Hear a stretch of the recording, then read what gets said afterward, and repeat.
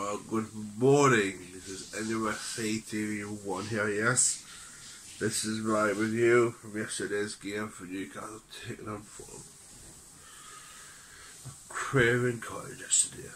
On the last day of the Premier last game of the season. Over. Brilliant win, 4 0 win. Fucking lovely win yesterday. Fucking delightful win. Her Towers was a right Um, yeah, it's been a very good season. I've enjoyed myself for the YouTube I've done.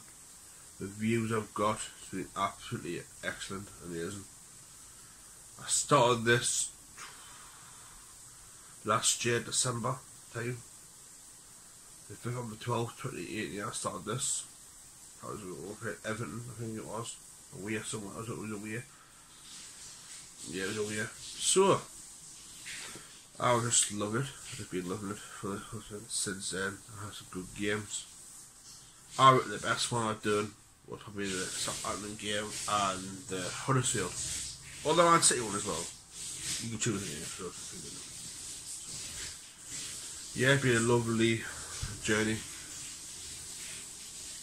Back to the game yesterday, back to the game. Shaping really well yesterday uh, good goals. One of them scored as well.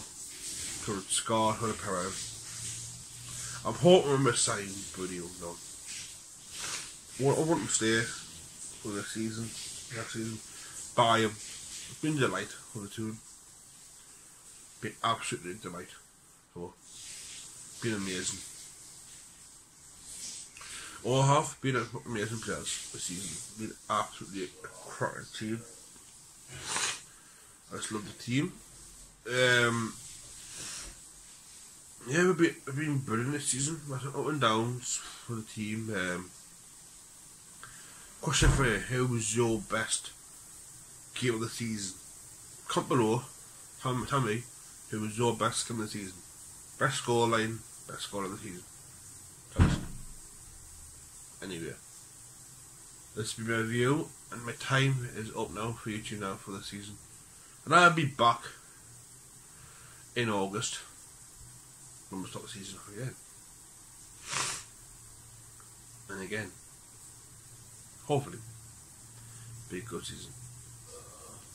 This is the NUFC TV one. Enjoy yourselves. Don't get too drunk this around. Behave yourself. Enjoy. Bye.